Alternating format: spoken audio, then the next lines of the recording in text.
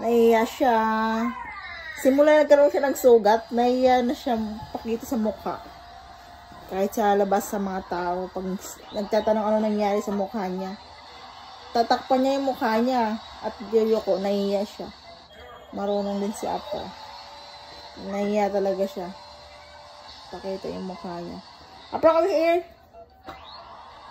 Apa, come here! Nahiya, come here! Ba't ka nahiya? Come here. Nahiya talaga siya. Come here. Hi! Hi! Wow. Wow.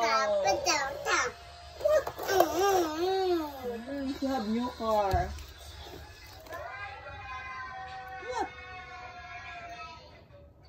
Wow.